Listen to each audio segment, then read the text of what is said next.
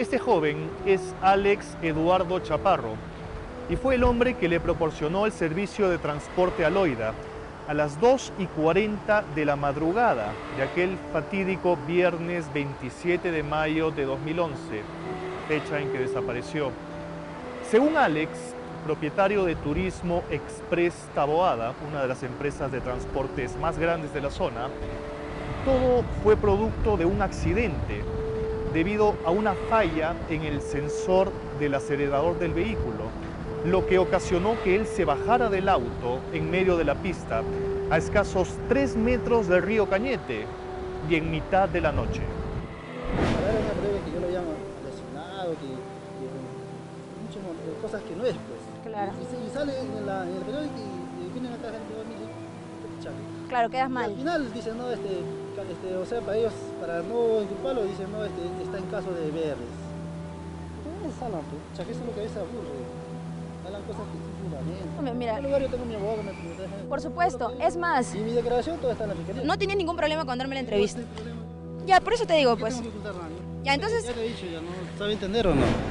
Según este hombre, al probar su carro, aceleró, pero inexplicablemente el ruido lo aturdió, retirando por error el pie del pedal del embrague, lo que ocasionó que el vehículo retrocediera rápidamente y se precipite hacia el río. Dicen que yo me corría, que no- a mí me atacan, pero. O sea, que me atacan, pero de, más era peor, ahora me vienen a bajar. Yo he dicho lo que es la verdad, la verdad y la verdad, la pura verdad. No tengo porque yo, yo soy de una familia, no soy cualquier familia, ¿no? O sea, yo no soy de familia de delincuentes, no soy, yo no soy de una familia muy mezcla. Yo lo que he dicho es la verdad. Lo increíble de este caso es que Alex, en vez de intentar auxiliar a la señora Loida, salió del río a cambiarse de ropa y después a pedir ayuda. pero él totalmente ileso, vuelvo a repetir, dice que salió después nadando y luego salió corriendo por la pista y fue a cambiarse a la casa de su amante, de su amante, una señora que tiene ahí.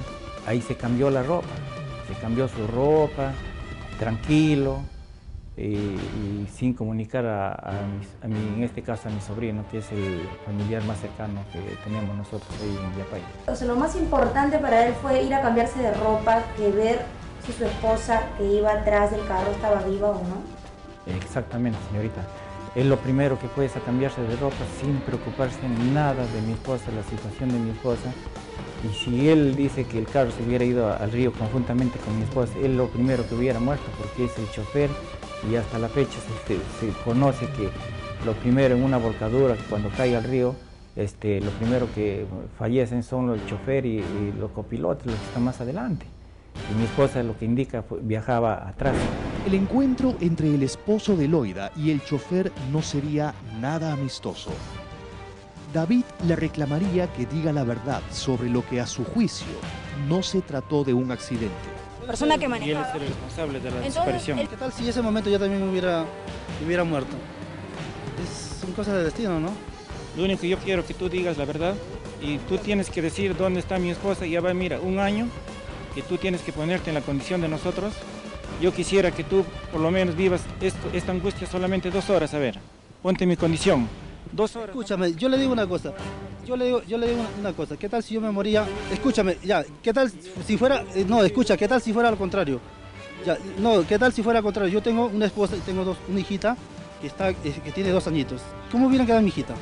Es que tú conducías el carro Son cosas del son cosas del accidente. Nadie está libre de nada. de inmediato. Señor, yo no soy ningún delincuente. Usted me está. Yo nada, tengo que ver nada. Yo soy una persona tranquila. Tengo nada, nada que ocultar. Lo cierto lo que es la verdad. Totalmente falso. Entonces lo que yo quiero, nuevamente repito, que tú digas dónde se encuentra mi esposa, porque tú eres el único responsable que a mi esposa la última vez lo has llevado, con vida. Igual así con vida lo has llevado, tienes que entregarme con vida. Es la pura verdad lo, lo- lo- lo que le estoy diciendo. No tengo nada que ocultar. Es como ha pasado el accidente, igual como ha pasado. Es lo mismo como he dicho en la fiscalía y, y siempre lo diré donde vaya, donde me lleve. Es la pura verdad que estoy diciendo. No tengo nada, más- que decirlo. Gracias. Para David es muy sospechoso que primero este hombre haya olvidado subir uno de los paquetes de su esposa al station wagon y que luego se produjera una falla en el vehículo para terminar cayendo en un río que por aquellos días no solo presentaba un caudal muy bajo, sino que además, como vemos en estas imágenes, difícilmente una persona perdería la vida en un accidente, considerando que la altura que separa la carretera de las aguas del Cañete es muy corta. ¿Qué pasó con el paquete? Yo tengo esta suposición de que mi esposa seguramente al chofer le ha dicho, ¿sabe qué? Este, tengo mis paquetes, bájalo del ómnibus, ponle al carro para llevarlo a Carania. Pero no fue subido posiblemente porque este señor ya tenía algo planificado en contra de mi esposa.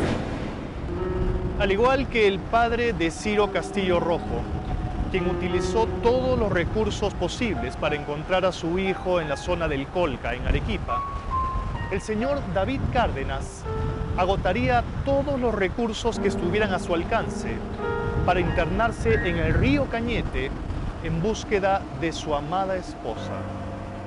Con eso, volvemos.